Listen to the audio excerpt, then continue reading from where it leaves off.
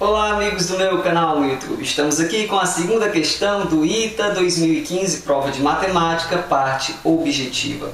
O enunciado da segunda questão diz o seguinte, sejam A, B e C os subconjuntos dos números complexos definidos por A igual ao conjunto dos complexos Z, tais que o módulo de Z mais 2 menos 3i seja menor que raiz de 19, B, o conjunto dos númerozinhos Z elementos do conjunto dos números complexos, tais que z mais i, o módulo disso, seja menor que 7 meios, e c, o subconjunto dos números complexos, formado por aqueles elementinhos z, tais que z ao quadrado mais 6z mais 10 seja igual a zero.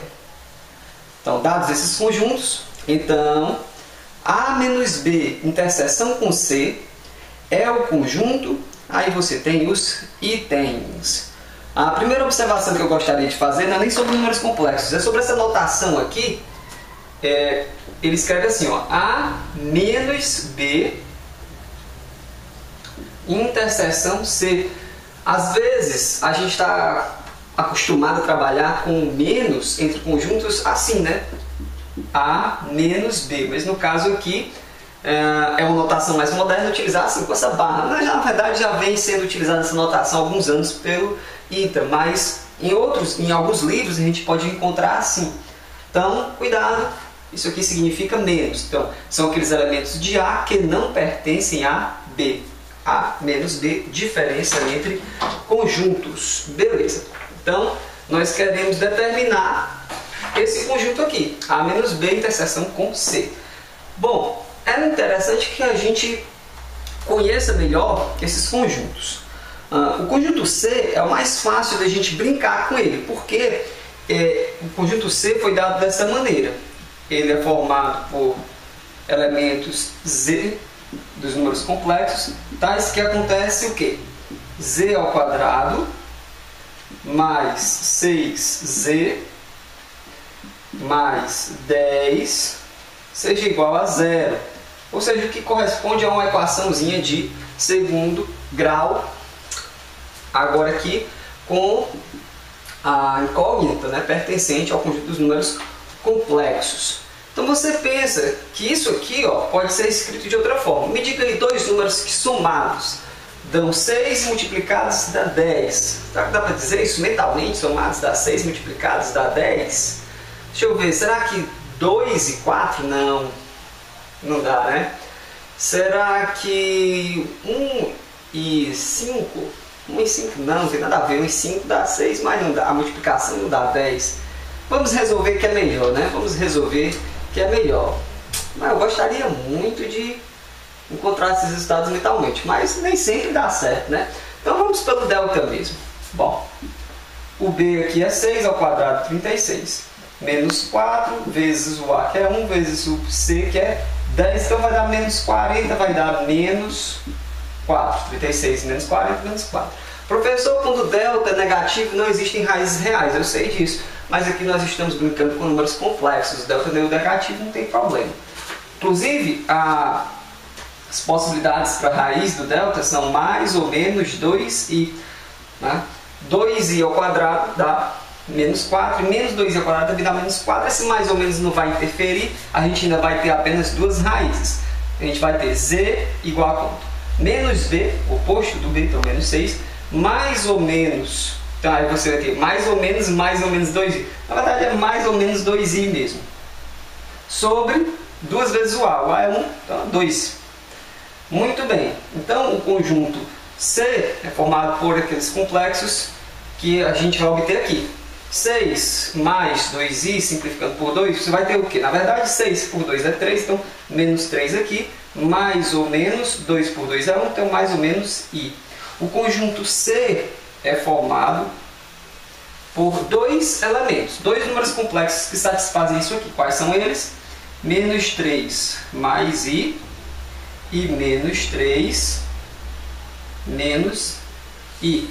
Amigos, reparem que essas raízes aí que a gente encontrou, dificilmente a gente encontraria por tentativa, né, para fazer a soma e o produto seria muito difícil da gente pensar em utilizar menos 3 mais i e menos 3 menos i. Mas se você reparar, ainda funciona. Né? Se você soma, você vai ter uh, menos B sobre A, e se você fala o produto, você vai ter C sobre A. Mas era muito difícil da gente encontrar, pela soma e pelo produto, essas duas raízes, concorda? Então não tinha jeito, a gente tinha que utilizar o delta mesmo.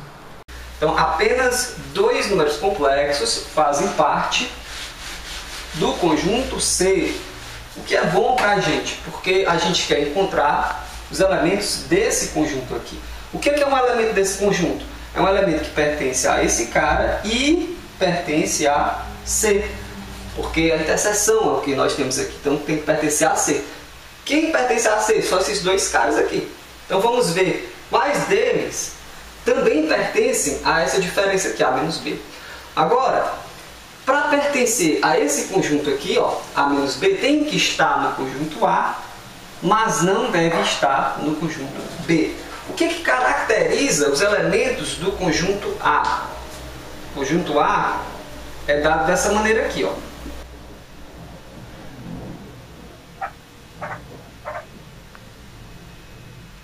Para que um número complexo pertença ao conjunto A, ele deve satisfazer isso. O módulo dele, somado com 2 menos 3i, tem que ser menor que raiz de 19.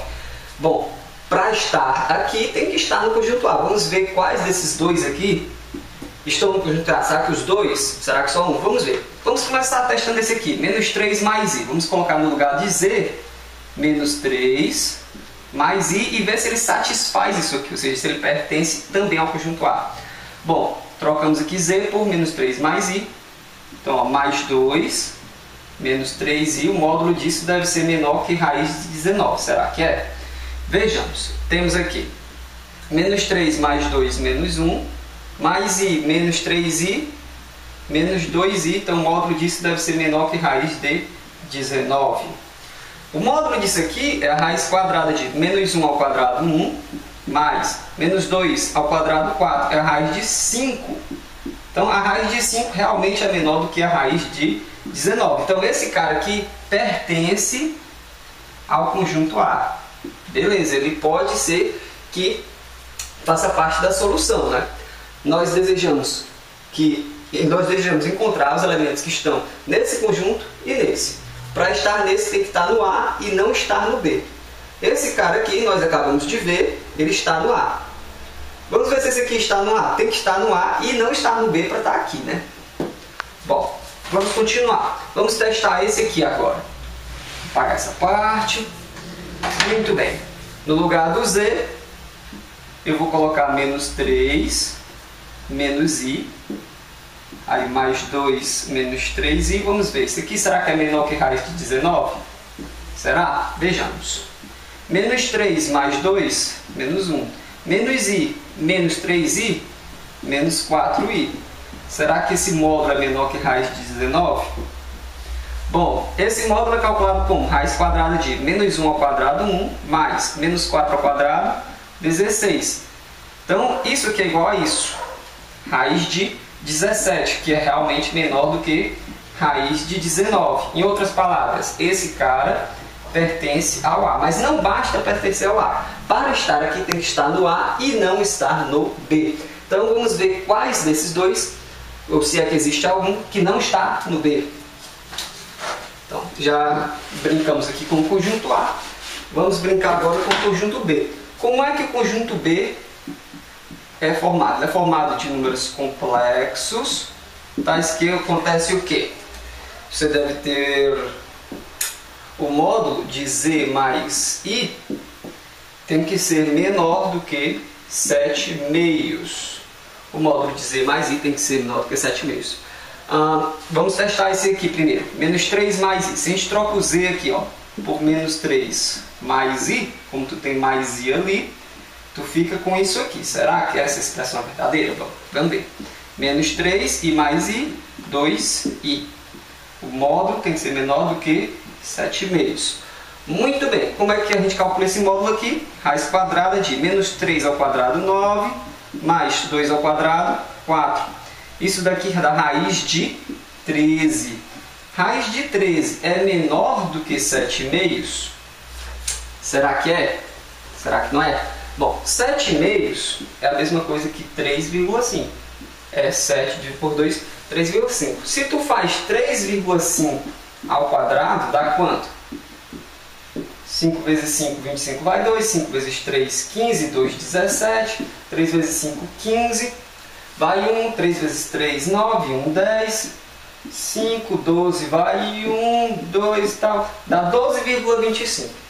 Então, raiz de 13 é menor do que 3,5? Claro que não, é maior do que 3,5, porque 3,5 quadrado dá 12,25 apenas. Então, raiz de 13 não é menor do que 3,5, é maior. Então, isso significa, como essa desigualdade aqui não é satisfeita para esse cara, a gente conclui que esse garoto aqui, ó, não pertence ao conjunto B. Porque para pertencer ao conjunto B, teria que satisfazer isso aqui, não satisfaz. A gente viu que se trocasse o Z por ele, dava raiz de 13 aqui, que teria que ser menor que 7 meses, um absurdo. Então ele não pertence ao conjunto B. Será que esse aqui também não pertence? Se ele não pertence ao conjunto B, ótimo. Se, é, aí ele vai estar aqui e aqui e vai uh, pertencer ao nosso conjunto. Muito bem, vamos testar agora esse cara aqui. Vamos trocar o z por e. Menos 3, menos i. Então é mais i, menor que 7 meios. Isso é verdade? Vejamos. Módulo de menos 3, ó, menos i mais i cancela. Módulo de menos 3 é menor que 7 meios. Ó, menos 3 em módulo dá só 3. 3 é menor que 7 meios, porque 7 meios é 3,5. Então esse cara aqui ó, satisfaz. Ele pertence ao conjunto B. Esse aqui pertence ao conjunto B. Então, para estar aqui tem que estar no A e não estar no B. Quem é que satisfaz isso? Esse aqui, menos 3 mais I. É claro que esse aqui pertence ao conjunto C, né? foi o que a gente descobriu primeiro, os elementos de C. Então, esse cara aqui é o único elemento que está em C e está em A sem estar em B. Ou seja, está aqui. Conclusão, esse conjunto é formado por um único elemento, é um conjunto unitário, formado por menos 3 mais I. O item correto é o item C. Espero que vocês tenham gostado. A gente fica por aqui. Um abraço e até a próxima. Tchau!